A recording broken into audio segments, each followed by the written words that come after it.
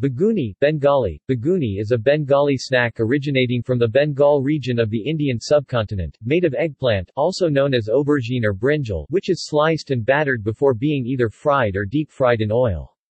A similar European dish is known as aubergine fritters. The dish may be prepared by coating eggplant with besan paste and then frying the pieces in oil. The eggplant is usually cut longitudinally Bengali, baguna begun, and dipped in a batter of Bengal gram flour with salt and turmeric, and deep-fried in mustard oil. Sometimes a small amount of poppy seeds is added to the batter. Some people prefer adding a small amount of baking powder to the batter to make it more crunchy. It is commonly consumed along with puffed rice and is an extremely popular street food in the country's cities. It is normally an evening snack in Bengali households and is a very common component of iftar in Bangladesh during the month of Ramadan of the Islamic calendar.